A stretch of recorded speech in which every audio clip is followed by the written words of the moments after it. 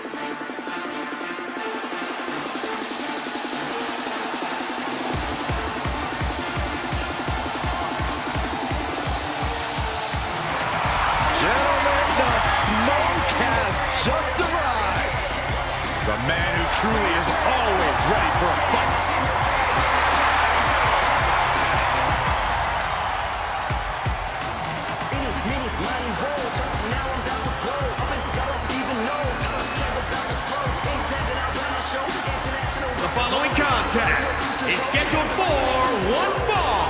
Making his way to the ring, representing the Street Profits from Cincinnati, Ohio. Weighing in at 260 pounds, Angelo Dawkins. Angelo Dawkins, an incredible multi-sport athlete. Earned college national titles in football, amateur wrestling, and track. Dawkins is legit. He's legit. He's got the confidence. He's got the swag. He